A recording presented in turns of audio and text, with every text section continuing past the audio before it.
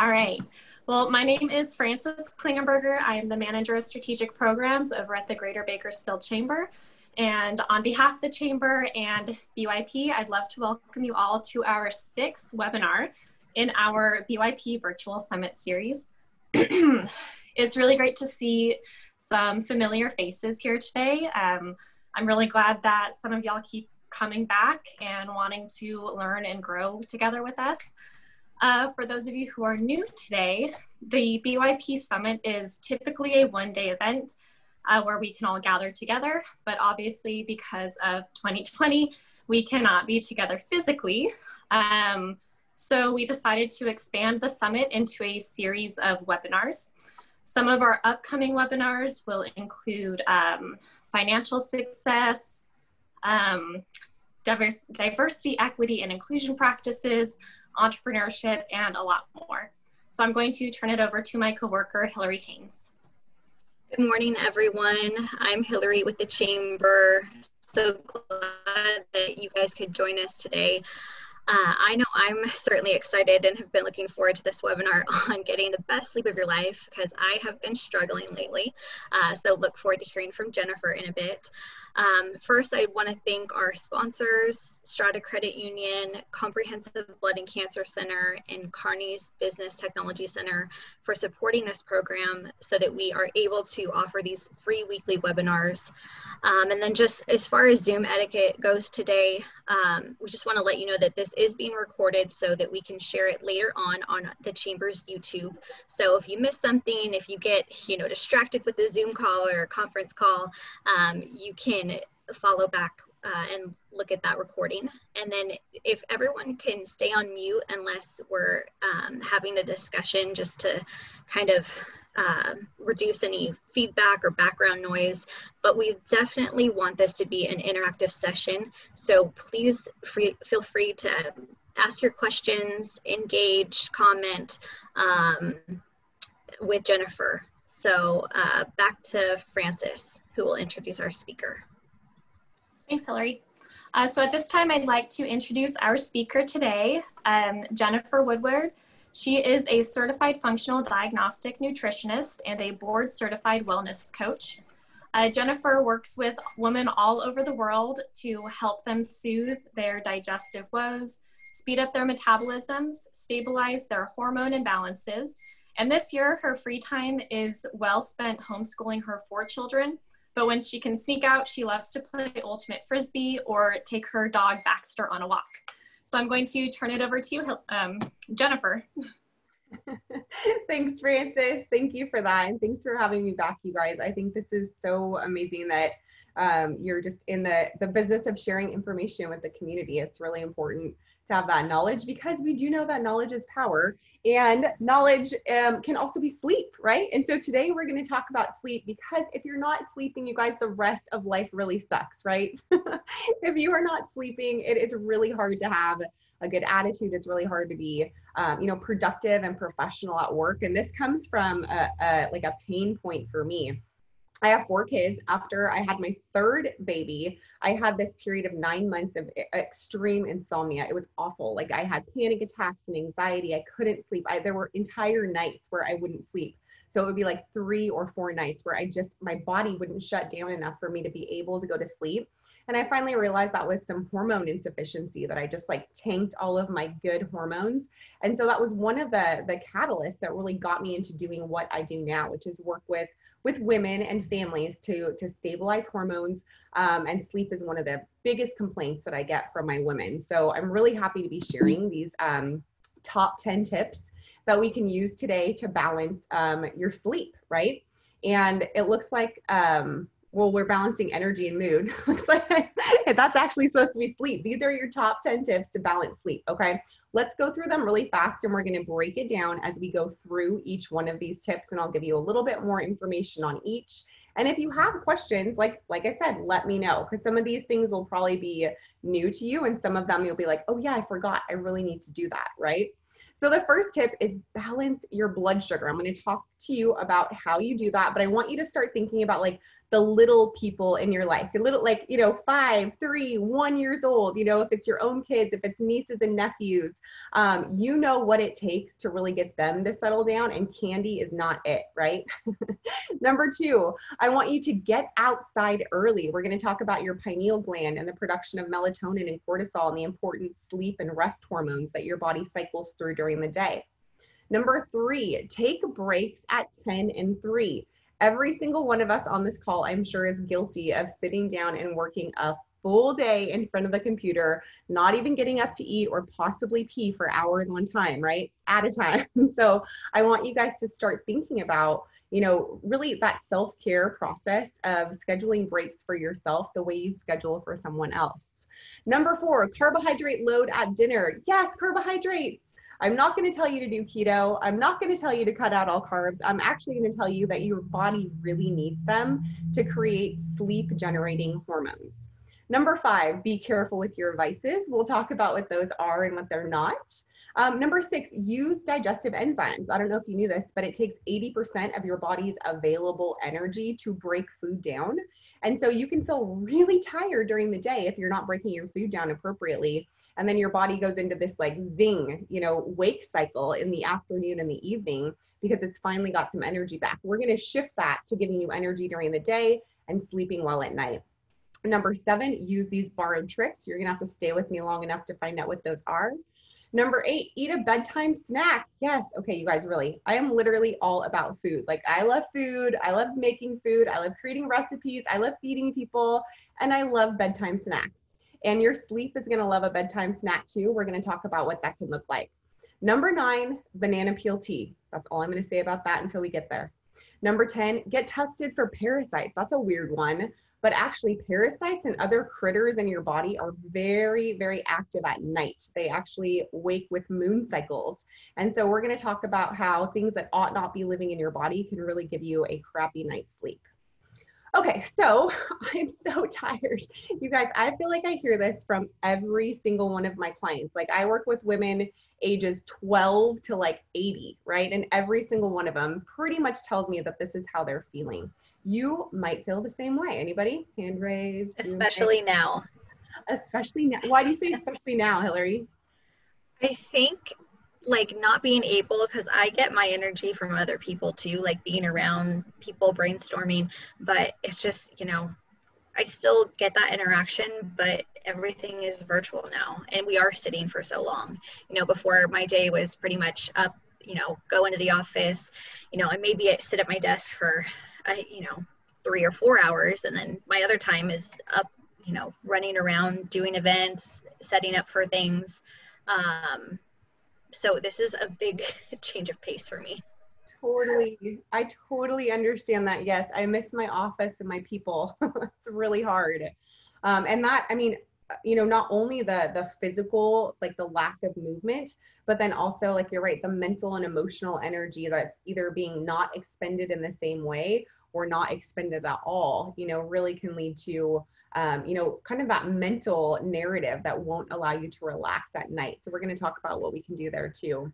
But really, guys, the CDC has declared sleep, sleep issues a public health epidemic. When we think about what we're dealing with right now, an epidemic, you know, and how much it shut everyone down and everything down, don't take it lightly when the CDC says that sleep issues are a public health epidemic too. They're affecting people in similar ways um, in a very large study, like millions and millions of people, you can see this, 23.2% um, of people, and that's 50 million of them, had problems concentrating during the day. Anybody? Anybody? Con- yep. Mm-hmm. And 11.3% or 24 million people this is scary said lack of sleep interfered with driving you know if 11.3% of us are driving around you know not have slept well the night before this can lead to some serious issues 8.6 or 8 million people said that the sleep deficiency they were experiencing did interfere with their job performance. Um, so that's, you know, that's us, right? We are young-ish professionals, speaking of myself. Um, and, you know, we really need to be doing um, a really great job right now as we build our businesses, as we build our careers. And so you want to make sure that you're getting the best sleep of your life. Just so you guys know, um, I, I've like sourced everything on my slides. So if you're interested in reading any of these studies or you want any further corroboration or research, just let me know and I'm happy to share my slides with you. All right, so lack of sleep, as we just established, obviously can be dangerous for the ways that we've already talked about, but then also for other ways too, right? Inadequate sleep is a stressor on the body and it's implicated in all these things that none of us want. Obesity, insulin resistance, meaning which is another, you know, reason why your body can put on weight, heart disease, the number one killer of both men and women, and then impaired cognitive function, not only for like right now and then tomorrow when you don't sleep well, but in the future when you're dealing with like neurodegeneration and Alzheimer's and you know other diseases of the brain. These things can add up because the body keeps the score. So don't, you know, cheat yourself because truly at the end of the day your body's like, "Oh hell no. Like I'm going to I'm going to make you pay attention to me, right? And this is how I'm going to do it." And it starts reacting in a way that you might not like. So what if my diet is on point? Like most of us are trying to eat well, we're trying to eat clean, we're taking advantage of some of the amazing restaurants and services that our community has to offer. Um, but if you're not sleeping, it doesn't really matter if your diet's on point. This study shows, and this is the you know very long kind of lame name of the study, insufficient sleep undermines dietary efforts to reduce adiposity. So essentially what that means is if you're not sleeping, you can get chubbier, okay? And none of us really want that, let's be honest, especially with the quarantine 15. So you can definitely work on, you know, getting your sleep under control to get your physical fitness under control. All right, this study was done with uh, a group of people who were sleeping 8.5 hours a night, which for most of us is like this luxury we can't even think of versus 5.5 hours a night, which is pretty much most of our daily sleep patterns. Like, right? Most of us are sleeping between five and maybe six and a half hours a night. Not by choice, that's just because what that's what our body's giving us at the time. So what the study found is that with the, the group of people who are only sleeping 5.5 hours a night, their hunger hormone, which is called ghrelin, increased dramatically and i work a lot with hormones in my work and i have to tell you know all of my all of my clients that ghrelin and leptin are your two hormones that influence hunger and fullness right? So leptin is the hormone that is secreted by your body when you're full. So you know that, that you're full you can't eat anymore. But ghrelin is that hormone. I always like to think of it as like a monster saying grr ghrelin right? Ghrelin is that hormone your body secretes when it needs more food and it might need more food because it's lacking energy. It might need more food because it's malnourished or it might need more food because it's so you know depleted of sleep that it, it gets its signals crossed. It also showed that blood glucose tended to increase with less excuse me less sleep. So glucose is just the amount of sugars in your blood right?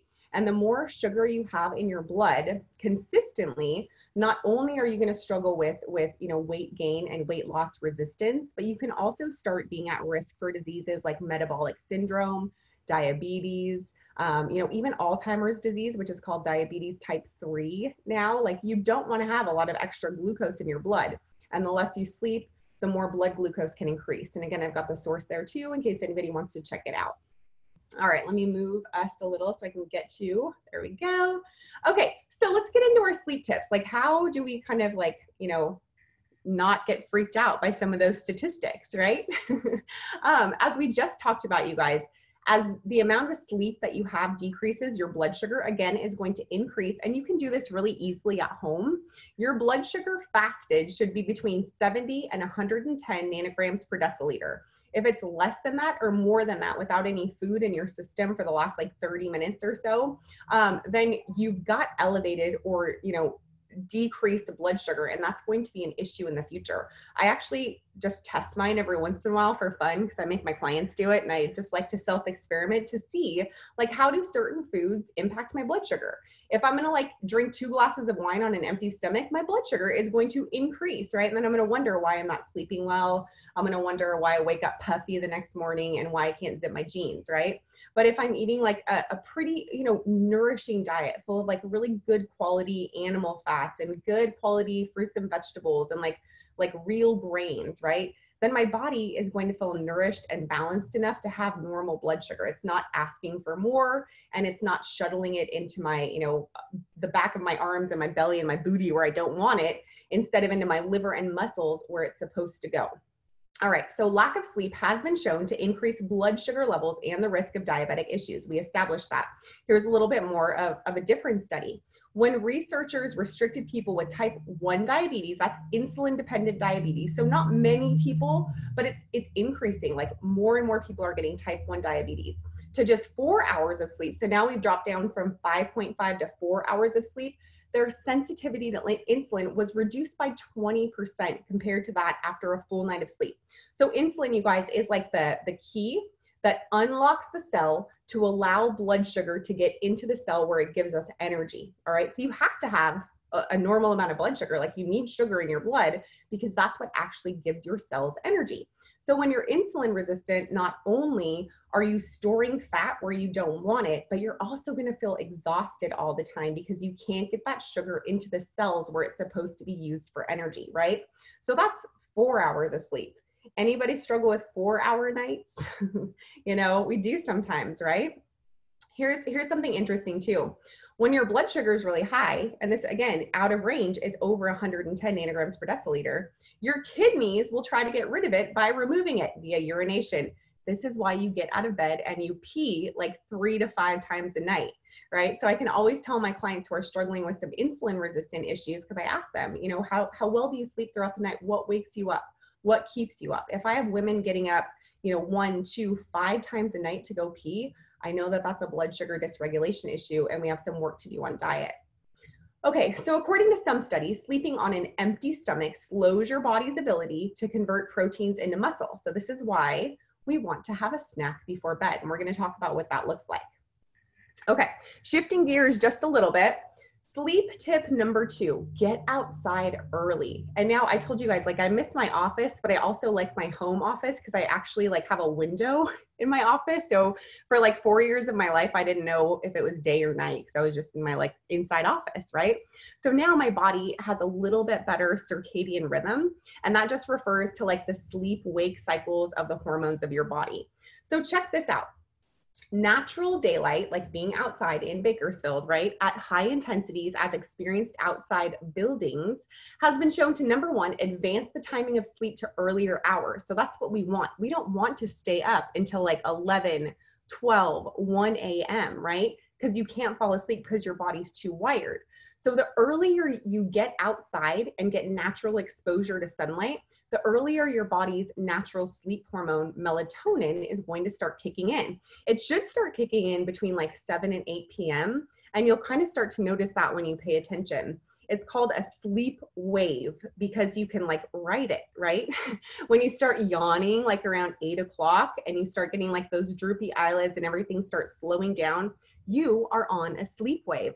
So I tell my clients, don't neglect your waves. Like when you start feeling sleepy, now is not the time to like start binge watching Westworld, right? Like you have got to start doing something that's going to help you get ready for bed.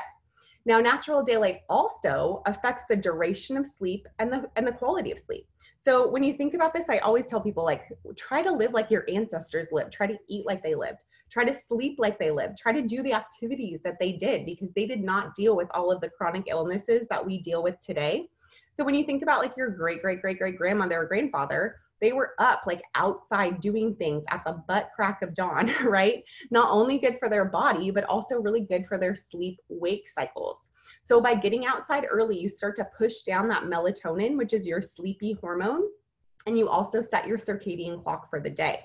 Now people are like, well, can't I just have like a, a light inside or can't, can't I be exposed to like any light? Does it do the same thing? No, it doesn't. During the day, light intensities outside can reach illuminances up to 10, 100,000 lux, right, in direct sunlight and 25,000 lux in full daylight. So even with a little bit of, of shade, right?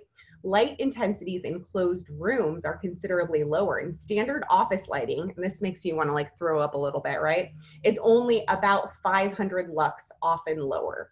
So, you know, when you think about all of us that struggle with anxiety and depression, uh, chronic illness, vitamin D deficiencies, which has been shown to be everything from cancer to autoimmune disease to ADD, all dependent on your vitamin D status.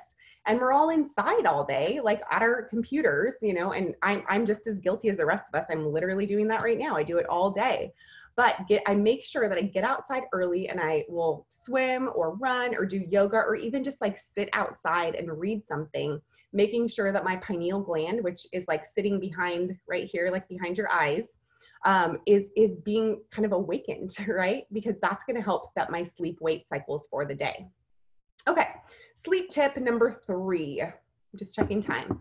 Take breaks at 10 a.m. and 3 p.m if you guys notice, if you like just take, you know, tomorrow, because it's already after 10, and you start thinking, like, when do I kind of lose it? You know, mid morning, mid afternoon, it's probably going to be right about these times. Your body kind of goes through this natural depressive cycle, right? Like you're, you're riding your, your hormones, your cortisol's up and your cortisol's down. And it's normal. And so instead of trying to fight it like we all do, why don't you just roll with it and do the things that your again your ancestors would do if they were tired they'd be like I'm taking a nap. Like I'm laying down. I'm out of here, right? Even other cultures have like, you know, nap times. You know, uh, Latin American countries have siesta time. Then they come back together for a meal. And how great is that? Like you have a nap, you have a full meal, you sleep like a baby the rest of the night, right? Because your body has done all the things that are nourishing for it. So, one of the biggest reasons many of us suffer from insomnia and difficulty getting a good night's sleep is our inability to relax and turn our brains off when we put our heads down for the night. So I have a couple things I want to share with you. And Hillary, I think you and I were sort of alluding to this at the beginning of the presentation. Um, I have my clients do a brain dump every night before they go to bed. So it's taking a pen to paper, it's writing down every thought that you've naturally suppressed during the day because you're so busy that you don't give your mind time to solve problems.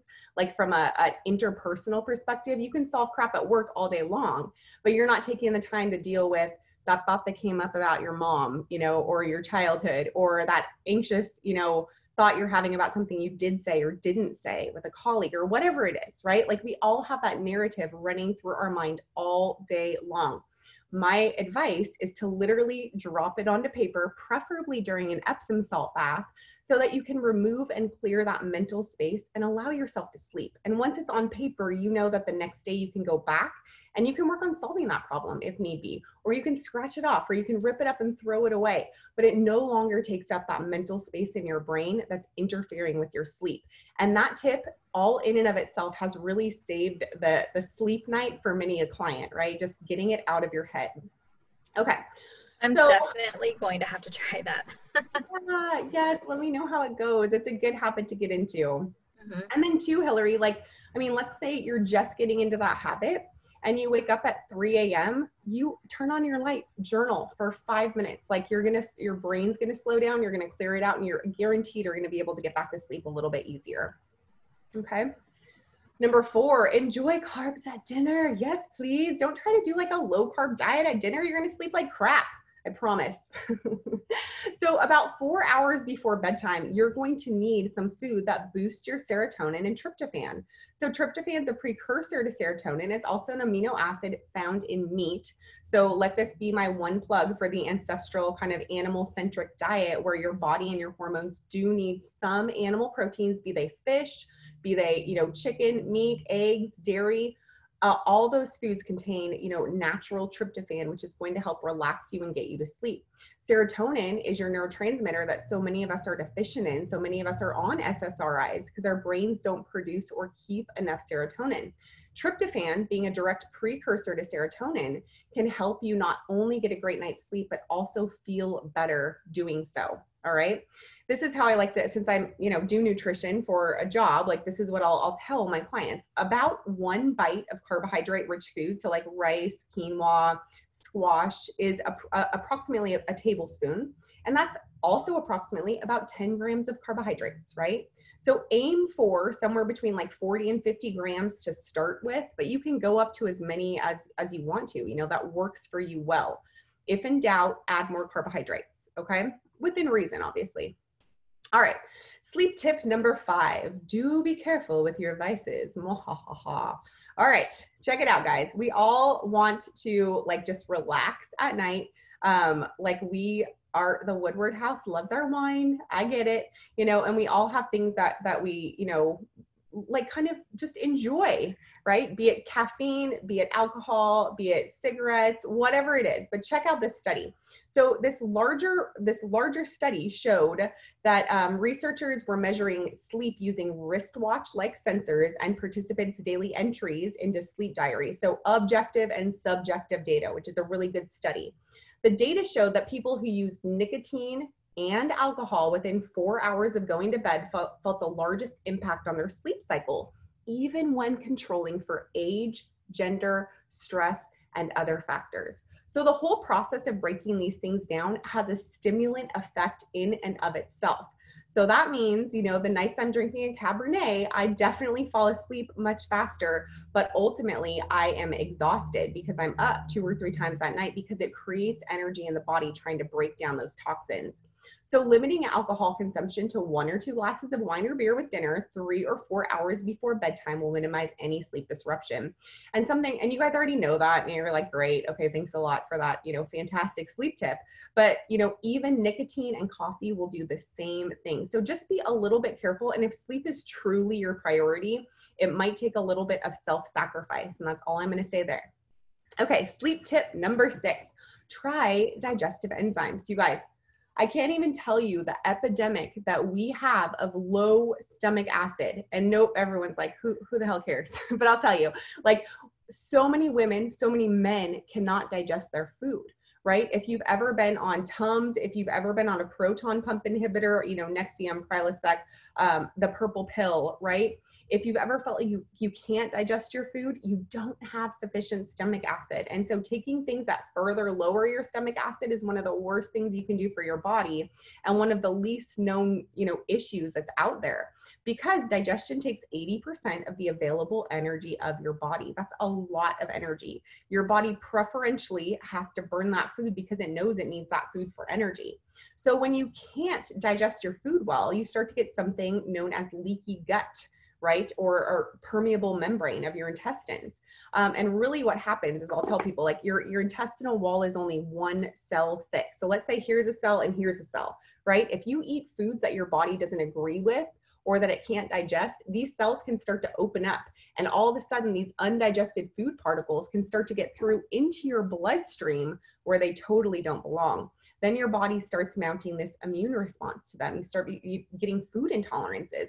That's one of the number one causes of anxiety and insomnia that I see from a biochemical perspective is eating foods that don't agree with your body.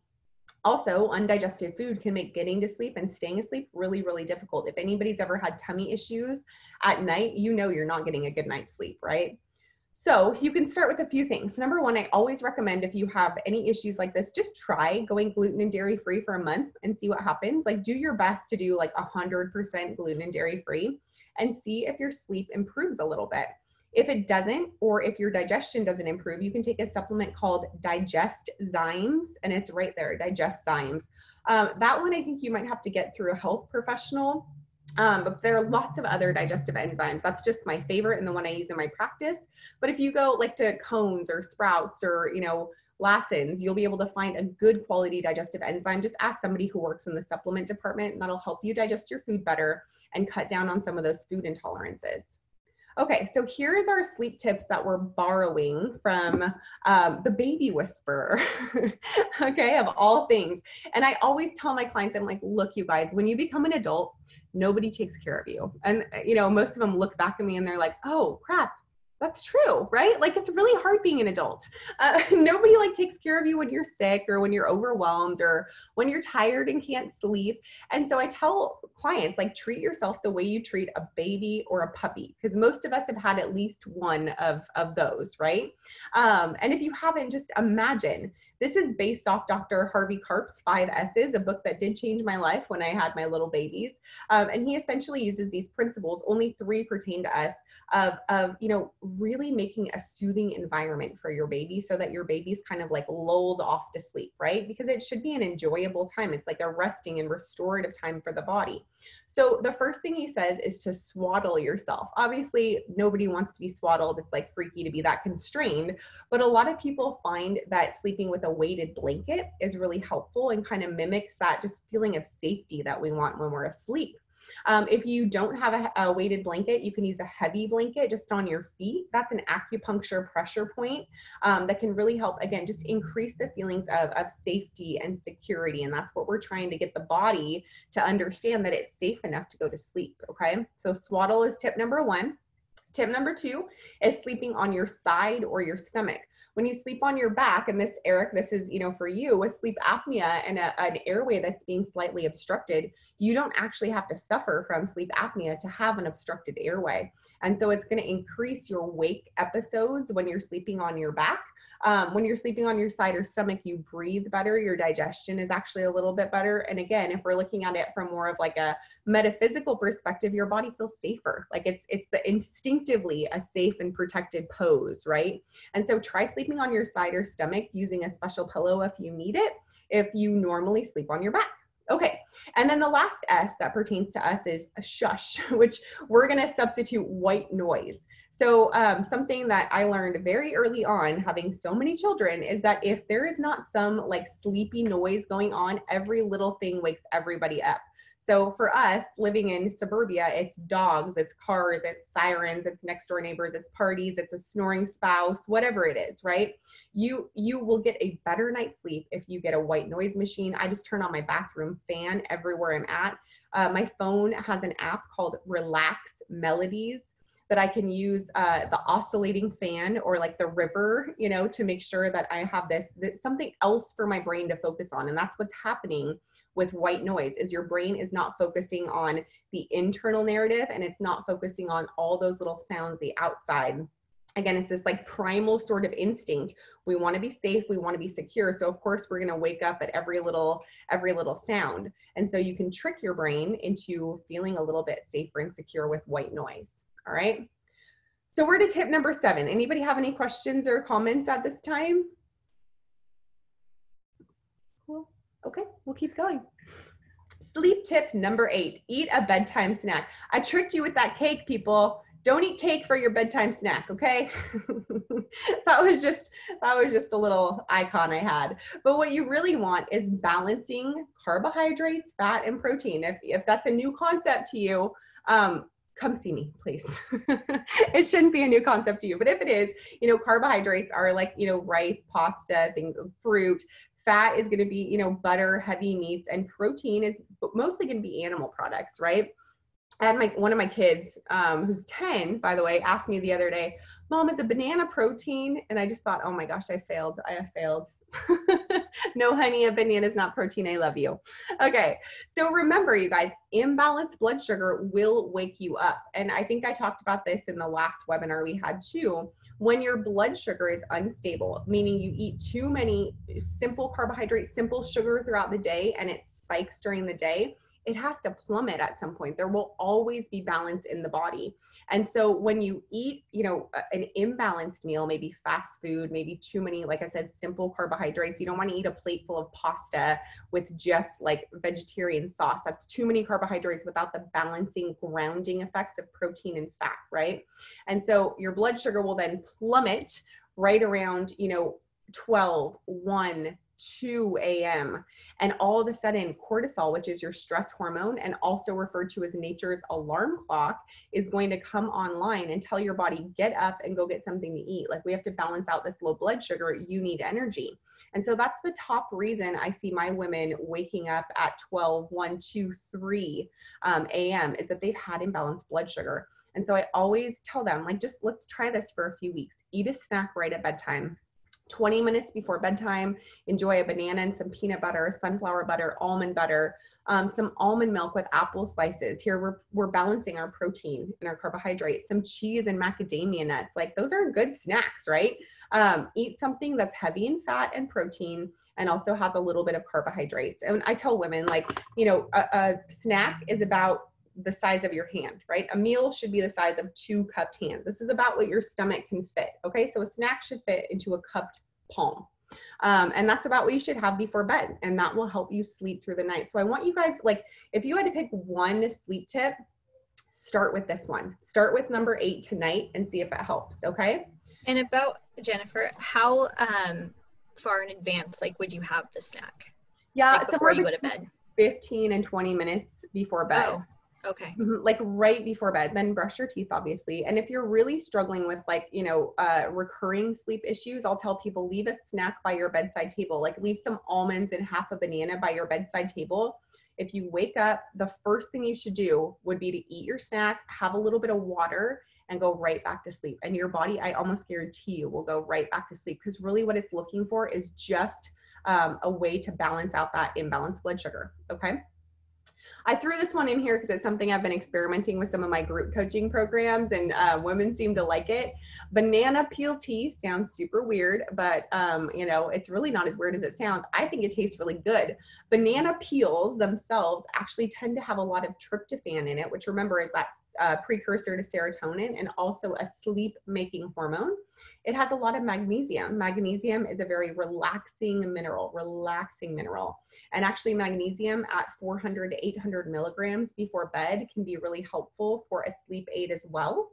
Um, a little bit of honey in your banana, banana peel tea also gives you that good carbohydrate, and honey is actually relaxing too. So, just like a teaspoon of honey in your banana peel tea, if you sip on that this about an hour before bed, is going to be really helpful to help you go to sleep. And again, I know it's weird, but I wanted to give you something interesting uh, in this talk as well. So I'm going to provide this copy to Frances and Hillary. And if anybody decides they want to try banana peel tea, you totally can. I don't think I have to tell you that you should probably get an organic banana and wash your banana before you put it into tea. Okay.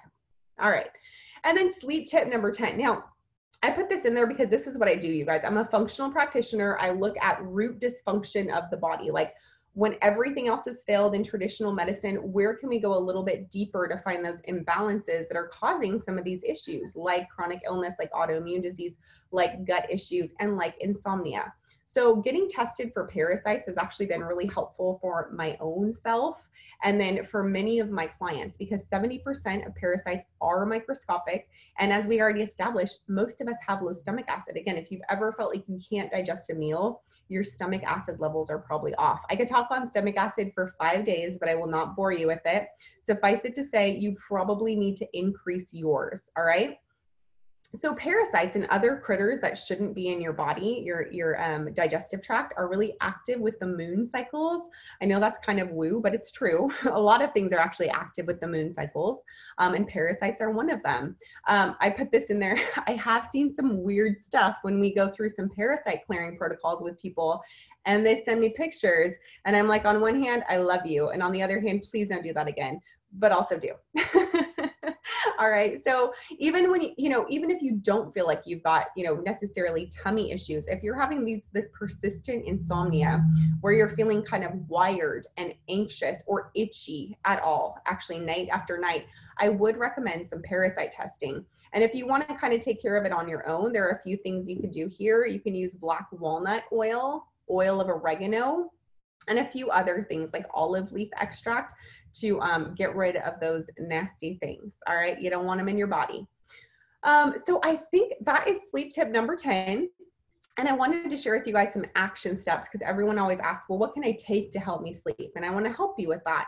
I will tell you again, as like a functional practitioner, I don't believe in like a supplement for every ill, right? Or a pill for every ill. I do believe in correcting and restoring root metabolic dysfunction so that your body can do what it's always supposed to have been doing, right? Which is you know thriving um, so some bonus supplements for not sleeping well when you really can't fix it on your own is prolonged release melatonin at three milligrams and you want the prolonged release because most people can fall asleep okay but they wake up like we were talking about early in the morning the prolonged release is going to stay in your system longer and keep you asleep through that 12 to 3 a.m issue okay hillary do you have a question Okay.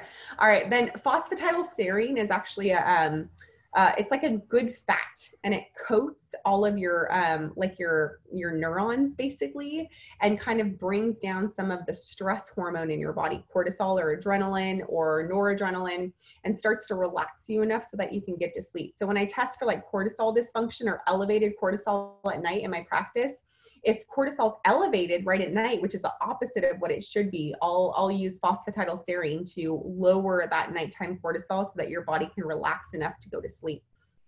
GABA is one of my all-time favorite supplements for dealing with anxiety um, and you know panic attacks and actually like coming off of substances um, and then also uh, sleep issues. GABA is a precursor also to serotonin and it's a very um, it's just a very relaxing um, substance basically it's natural it's a amino acid and so you can find it in meat as well um, and it's really hard for you to take too much GABA. GABA does cross the blood brain barrier when it's in a sublingual form.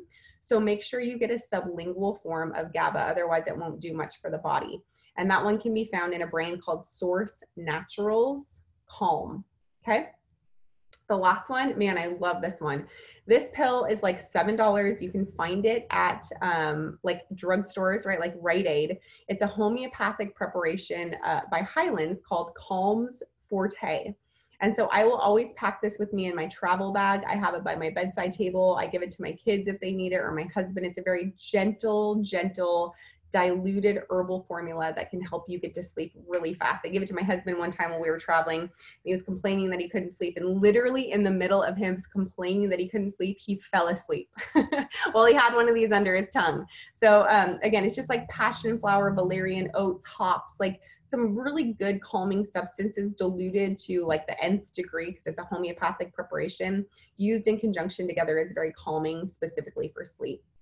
Um, next steps, um, you can find more about sleep. You can find more about me. You can find more meal plans. You can find anything you want to know about functional nutrition at jenniferwoodwardnutrition.com. Um, you know, if you want to know more about testing, any of that, just let me know. There is a prof- professional picture of me, which is why I put it on there. I was like, oh, good. That's not one that like my kid took. So I always give free discovery calls if anybody, you know, wants to work any further. But for now, I just wanted to say thank you to the wonderful BYP group. Thanks for having me on. I hope these tips help you guys sleep better tonight.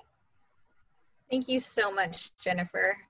Uh, does anyone have any questions or want to talk through, like if you have um, trouble sleeping, um, questions for Jennifer, now's the time. Don't be shy. Mm -hmm. Gloria. Okay, so on the snack before bedtime, I've gotten in the very bad habit of eating ice cream at like 10 o'clock at night. So you saying the blood sugar balance, it's like, oh my gosh, that hit completely. I was taking notes here on the side. I was like, that's me, that's what's going on. And I didn't even realize what was happening. so just this week, I'm trying to get off of eating ice cream every night at 10 o'clock when I sit down. But I've started doing oatmeal. Is that too many carbs? I do a half a cup of oatmeal and then I'm just putting cinnamon in it and almond milk. Well, I feel like I need something sweet. no, that's it. That's I mean, you've moved over to a better snack, but there's two things there. The ice cream, if it's like real ice cream, it's gonna have a little bit more fat, so it's gonna stay with you longer. If have you felt like the oatmeal helps you sleep any better, or are you still waking up? Um, I think it's helping me sleep better. And I was doing dairy free ice creams. I'm actually dairy free and gluten free. Yeah. Um, so it's dairy free, mostly almond milk or coconut milk, oat milk type ice cream. Right. But the oatmeal does keep me fuller because I actually wake up hungry. I'll wake up like at two or three o'clock in the morning with my stomach growling like loudly, like it wakes me up. I'm hungry. So I'm actually sleeping because I feel like I'm not hungry. so here, if you like the oatmeal, this is what I do um, maybe like cut your oatmeal portion in half and add a good one to two tablespoons of like almond butter or sunflower butter and like half a banana, half a cup of blueberries, like a little bit of more fiber, like fruit fiber, pectin to slow down the absorption, and then plenty of fat. If you can do butter, I would add butter or coconut oil. Um, but if you'd rather have like the, um, you know, nut butter, that would be a really good choice to add to it. And I think that if you um, add that fat and protein, it'll slow down the absorption and therefore slow down your blood sugar spike. Okay. Gotcha. Okay. Perfect. Yeah. Thank you. I'll try that. Good luck. Let me know. I will. Thank you. Okay. Anybody Jennifer, else? when you mentioned about the melatonin, um, like how much should we take? Like yeah. what's a good dosage? That's a really good question. Honestly, melatonin is amazing. It's one of your body's master antioxidants. So I don't ever hesitate in giving it to people, um, but you do want to be careful with the dosages. It has been studied clinically up to 200 milligrams actually for reduction of like breast cancer and ovarian cancer. But at that dose, if you just took it at one time, it might like actually kill you. So I'm not saying do that. I'm just saying it has really powerful effects on the body most people start at one milligram. Okay, so hear me, one milligram. Yes. Uh, the extended release that I like has three milligrams of prolonged release melatonin. So for most people, children included, one milligram to three milligrams is generally effective for sleep. Okay. But start with everything else before you mess around with your hormones. Melatonin is a hormone, and too much of it will make you feel very, very sleepy the next day. Okay. okay? And then I, before we um, started this, we were talking about uh, CBD, and we have Gloria who is joining us now. Um, did you want to, Jennifer, talk about CBD um, and you know what you enjoy about it yeah, sure. for sleeping? Yeah, absolutely. Well, what I love about CBD, right, is is CBD you guys works on your endocannabinoid system. So everyone has one. You've you've all got this system and really the function of the endocannabinoid system is to make you feel um, like put you into parasympathetic nervous system so make you feel relaxed and everyone you know kind of has the right to feel that way but when we've switched over to sympathetic nervous system dominant so much in today's culture we're just always on so we always have like this background noise where we're thinking like we either need to fight or flee. It's called the fight or flight, uh, you know, response. And and you know the result of that is that your endocannabinoid system does not does not have all of the raw materials it needs for your body to feel kind of just relaxed or normal. And so all CBD oil does is it hits those endocannabinoid receptors with the correct molecule to make you feel like normal, right? So so all of a sudden you can start sleeping normally. You come down from your heightened feelings of anxiety that's due to you know hormonal dysfunction.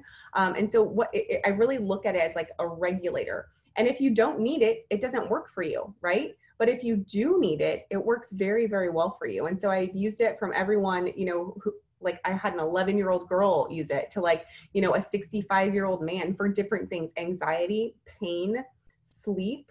Um, and, a, and a few other things that it's really, really helpful for. Gloria, you could probably speak way more to it than I can, but I'm a big fan of it, um, you know, for targeted therapy. Absolutely.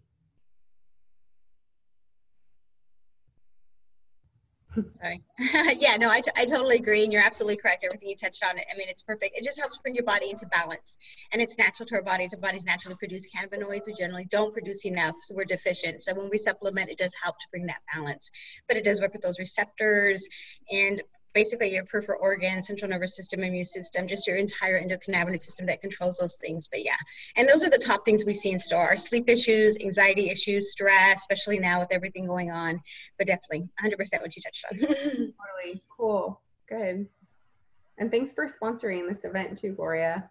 Yeah, of course. I was excited when I got when I got um, notice about it always always willing to participate. Do you want to share for those um, who may not know what you are giving away for the luck for one lucky winner today? Yes. So any participant that has joined in on the webinar is entered into the giveaway for a CBD bath bomb, which our bath bombs are 100 milligrams of CBD, and they are infused with essential oil. So they're all natural. They're Epsom salt, CBD, and either lavender, eucalyptus, peppermint oil, um, orange and ylang ylang, and lemon are the ones we have. So just depending on what type of relief you're looking for.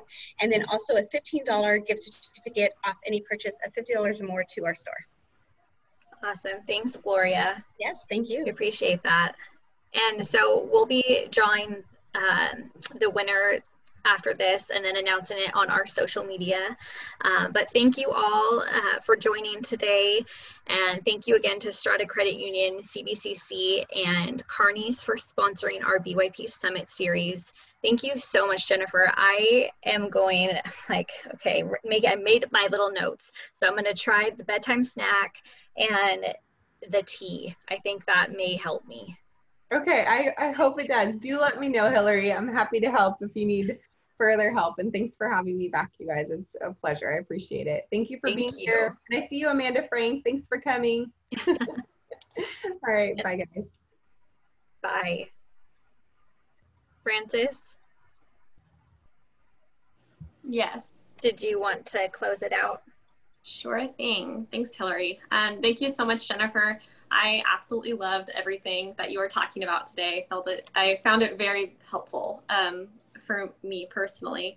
Um, So for next week, we are going to have another webinar on Monday, September 28th at 10.30 a.m. We will be joined by Lyle Martin. He is the Chief Investigator for the Kern County District Attorney's Office, and he is going to be talking about um, how to lead during a crisis. So he has a ton of leadership experience. Um, He's very popular for uh, leadership conferences and webinars, so he'll be a, a great one to tune into.